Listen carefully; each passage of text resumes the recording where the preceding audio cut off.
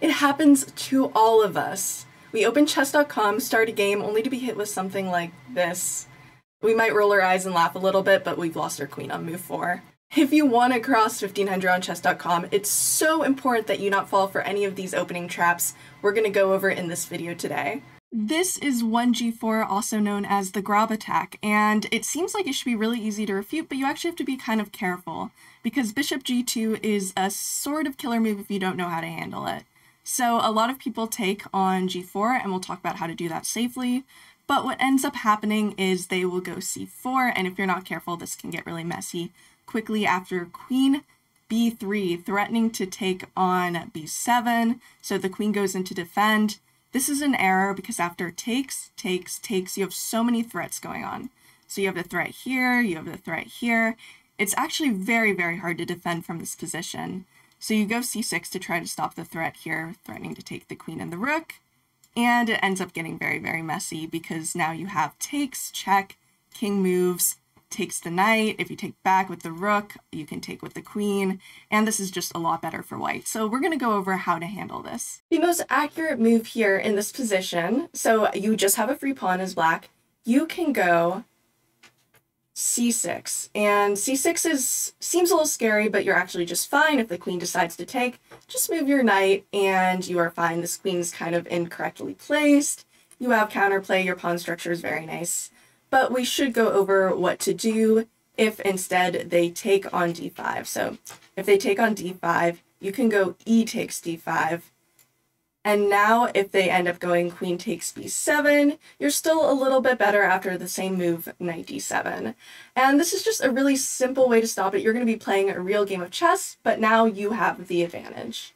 So the next one we're going to go over is the fried liver attack, and you may think you know the fried liver attack, but trust me, it was up until 1400 and I still didn't know how to face the fried liver attack. It can be a little tricky.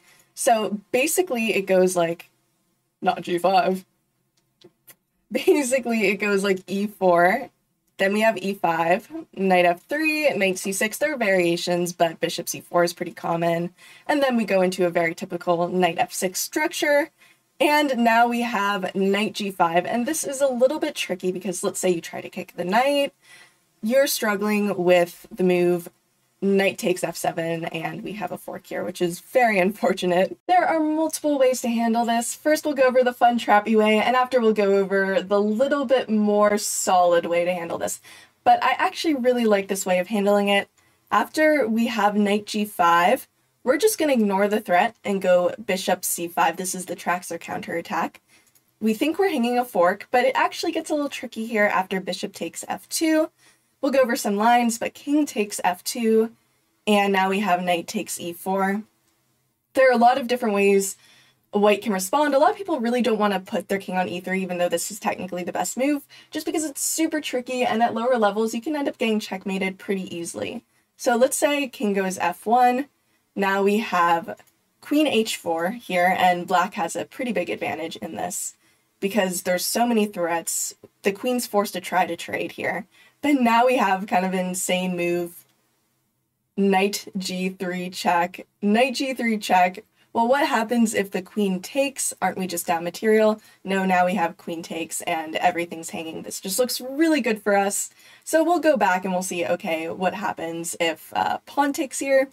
Pawn takes here, we can take again here. I recommend taking the white bishop with um, check instead of taking the rook even though taking the rook objectively is fine. So it's it's up to you, but this is just better eval-wise.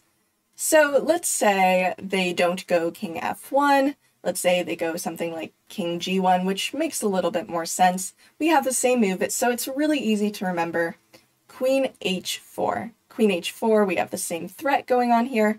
They're sort of probably going to go here. They can also go queen e2, but we have the same response no matter what. The whole idea is we're going to be targeting this bishop. And no matter what they respond, this is going to be the common response that we're going to give. Now let's say they give the best response, which is actually not taking the bishop, but just going king f1. This may look like you're in trouble, but there are some ways to counter this that will end up giving you a good game. You go queen e7, they most likely will take the rook. When you're going to go is bishop e6. And you know what? This isn't even that bad for black here, because A, this knight really is going to have a hard time defending itself. It's probably going to waste some moves going back. And this king is so far out in the open, especially for lower level games. I'd say I'd give black much better chances here just because it's going to be really hard to defend the king, so you're doing fine. One thing that's really important to note in this position is that the bishop can also take. In that case, we're honestly just going to go king f8, and even though we've lost our ability to castle, we still have a lot of counterplay. We can end up pushing the h-pawn. It's not that bad, but let's say you don't want to deal with any of that, and you just want a super simple, easy response. So instead of bishop c5, we have the option to go d5. d5 here, Pawn's going to take, thinking that they're going to maybe threaten our knight, have this huge advantage, but we have this really interesting move here, which is knight a5, and really there's very few places this bishop can go without being taken. If the bishop retreats, we're simply going to push away the knight and we're doing fine. A lot of times they will end up checking, but we have c6. After takes, takes, our knight is covering everything. They are again pretty much forced to retreat they can go into some sack lines, but most of the time we're going to see them retreat, in which case we can just push the knight super simple h6.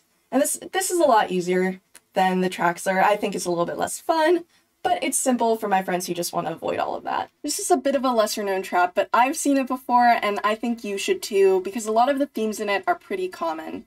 So we're going to end up with a typical e4, e5, knight here, knight c6, very standard responses. After uh, bishop c4, which is one of the most common responses, we're going to see the really interesting move of knight d4. And as white, this can be kind of concerning if you don't know it.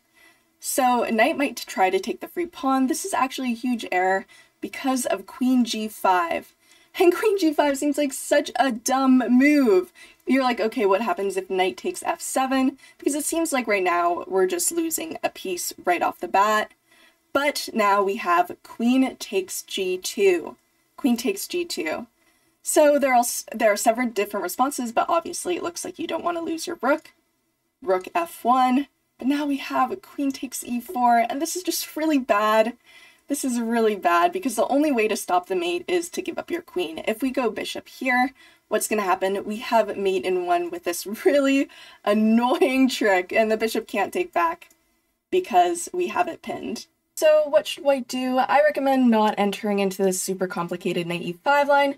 Simply take the knight. Pawn's gonna take, and this pawn's a bit of a liability. You can just castle, go into any theory if you know some, and then after knight f6, we can go rook e1, and white's in a slightly better position here. Black doesn't have a lot of development. This pawn's a weakness. It's just a very simple, easy way to avoid all of these traps. So this is for my Caro players out there, and sorry if you hear some crinkling. Uh, my cat is going a little crazy right now. So we're gonna end up with our normal Caro structure. Knight c3 is a typical response. I mean, we see d4 a lot more, but this is something to be careful of, my Caro players, if you end up seeing knight c3. So after we go into, they're going to make the really weird move of queen e2. And now you have to be immediately on alert. After takes, knight takes, Knight to d7 is a very common theme in the Caro-Kann. So if you're a Caro-Kann player, please don't autopilot this because you're going to get hit with the knight d6. The knight d6. And this is actually very, very simple to avoid. We can go over that one pretty quickly. I honestly wouldn't even take e4 here. You can just go you can just go d4. You can just go d4 and you're going to send the knight back to d1 or b1. The knight can go to b4, but it's going to end up getting kind of complicated for white, so most of the time they'll retreat. And now you are the one with the advantage. This is a trap in the Scandinavian. This is a trap in the Scandies. So we have our typical Scandi structure, queen takes, and now queen a5. This is all very typical theory, but do not go autopilot if you're white here, because it gets a little tricky. Bishop g4. Bishop g4, again, very typical. Knight f6, d3. Scandi's known as a trappy opening for a reason. Again, it's very easy for white to go on autopilot here because this seems super typical. And now we have castles queenside, which is a very common idea and always very aggressive. Very aggressive. After h3, here's where we have a crazy move, h5. So you might be like, I'm probably not going to get here if I'm playing against a Scandi, but this is actually a very common scheme theme in a lot of different Scandi variations. So it's important to know this even if they don't follow the exact moves. So after h5, this is a fishing pole trap. Takes, takes, the knight's under attack. The knight's under the attack, but it's actually very bad to move the knight to e1, which is something you'll see a lot, because now it's mate in 6, we have queen h5, and you you have to sack all your pieces to avoid this. And once they go f4, a desperate attempt to make the king a little hole of escaping, we can just push. We can do several things. We can push here, but one thing that uh, I have seen before is bishop c5, and it gets super duper complicated here. There's so many different things that can happen. And another option here, I think, is just to push here push here, but it's a little bit more complicated because they can just sack more of their pieces, maybe even get their rook out. Either way, you do not want to be in this position as white. So how do you counter this? How do you counter this? Instead of taking, and sometimes taking is right, but here it's just going to end up being a really big pain for you. So I recommend you do the move knight g5, knight g5, which might seem a little odd, but after something like, I don't know, knight e5, here, sorry, knight e5 here, trying to still have this theme of taking and then having this open file, you're just going to go f4. Don't even give them any of that. And this is so much better for white because the knight's forced to retreat, the knight's forced to retreat, and now you can take knight f7 here. So all of a sudden it's gone really, really tricky. And if you're struggling to remember that, just know, be very careful before you take any sort of bishop knight idea here. Just be very, very careful because it's almost never worth it to open up this file in this kind of position. This, y'all, is one of my favorite traps. It's so much fun. I highly recommend you try it out because the opening's kind of rare. And even if we don't get into the trap, it still can be a little alarming for white to see this. So this is called the Albin counter gambit. Such a fun gambit. And it's actually not that unsound. So after takes, which is the best move for white, you're going to go d4, d4. And a lot of times they will go e3, trying to challenge this pawn, get this super strong center, but this is a mistake. Because now we have bishop b4, which doesn't seem scary, but it gets tricky quick.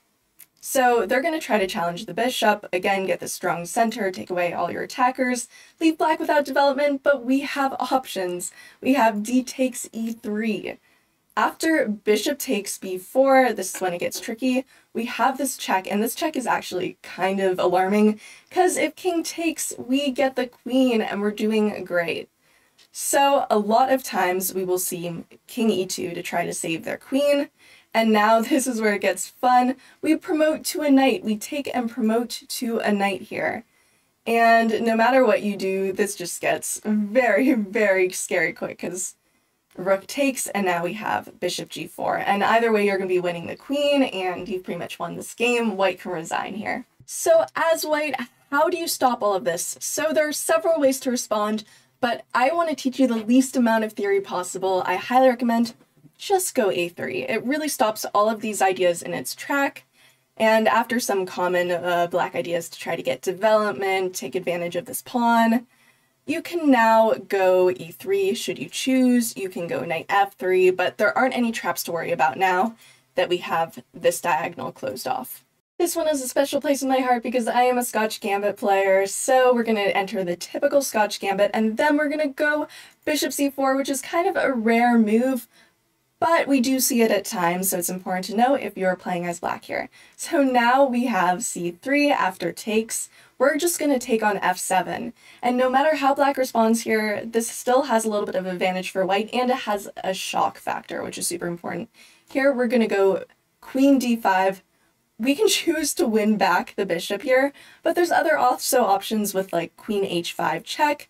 After here, now we take c5, and we've completely weakened the structure. This pawn's hanging. So no matter what in that previous position, black is doing a little dubious. They cannot castle, even though the eval is pretty much even. White's to regain their material, and black's left not being able to castle. It's just kind of a hard position to play. I wouldn't want to enter it as black, so here's something you can do instead. Instead, we can end up going knight f6 here. After e5, we're going to push d5, and no matter what, just it's important to know if they take here, it's better for us. If they en passant, we can take back, again, better for us. So we see bishop b5 a lot, which is probably the best move here. And now we have knight e4, knight e4, and after knight takes bishop d7, we are actually just doing fine here. We're doing fine. As much as I dislike the French, I want you all to succeed, so I'm going to teach you this trap. It's important to know if you are deciding to play the French. So we have a very typical French structure here. This is all super typical. Knight f3, queen b6 here to add more pressure. Now we have bishop d3, bishop d3. After takes, c takes. Now if knight takes, this can be really, really bad for black. And this is important to know. Also, if you want to play against the French, I recommend this line. This is fun. So knight takes. If knight takes, the queen cannot take because what happens if queen takes? Now we have bishop b5 and you're about to lose a queen. So if you're a French player, what do you do instead? So this line actually isn't bad for black. It's very typical. Queen b6, but it's very, very important that after takes, takes, instead we go bishop d7. Bishop d7, do not take this back. It is a trap. Do not take it back. After something like, I don't know, bishop e2, or there's a lot of different things they can do here. You just continue as normal, go into your French structure. You do not have to worry about this anymore, and you can continue targeting this pawn, but just be very careful of that trap. Honestly, we could have a whole video on the Budapest Gambit. It's just such a trappy opening, but we're to go over just a few traps in it just to make sure you don't get caught by surprise. So there are a bunch of different moves white can make. Let's say they go knight d2. Now we have e5, very typical, and then the knight g4 that marks the Budapest gambit. So no matter what we do here, it gets a little tricky. So this is just a huge mistake. This is a huge mistake for white here because now we have the very, very funny move, knight e3, and this really only works if the knight's on d2, but we'll go over different move twos and see some traps that they can do. What happens if they take? Now we have mate. Other very, very common move twos include c4. c4, and you can actually still play this after c4. It's very fun. We go e5, d takes, knight g4. Again, we're going to see this a lot. Sometimes you'll also see knight e4 as white here. You'll also see knight e4, so you have to be careful if you're playing white and you see either knight e4 or knight g4. Anyway, then we're going to go, you're going to want to defend the pawn, right? because uh, we're attacking it. So a very clear way to defend this pawn is to go knight f3. So now we're going to continue on with the plan. This is very common in any Budapest gambit. d6, takes, takes. A lot of times they really want to kick this knight, but it's not the right move. They're going to go h3, and this is a huge mistake as white. If you go h3, it's the game's pretty much over. Then you've got knight takes.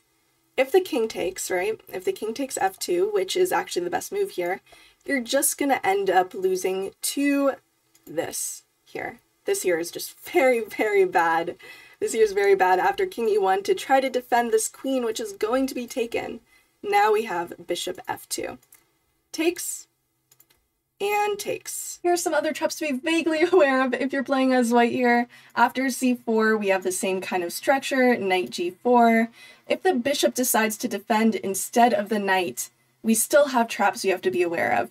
So knight c6 is a move you can do because now d6 doesn't make a lot of sense, but there are still traps you are not in the clear here after bishop b4. Knight goes to defend because you're going to want to keep attackers on this under-defended pawn. Sorry, you're going to want to keep defenders on this under-attacked, over-attacked pawn. Ah, words! Okay, you get what I mean. Queen e7, we're putting more pressure on this pawn. If you try to kick the bishop, now a knight takes. If you take here, this is a huge error because I wonder if you guys can see it. Pause, take a look. All right, yeah, we have knight d3, and this is mate. There is no way to take. Just very unfortunate for white. There are several ways to approach this position, but if you just want to be careful, you can do something like this, or anything with similar themes. Bishop f4. Right now, they do not have this check, so you don't have to worry about that.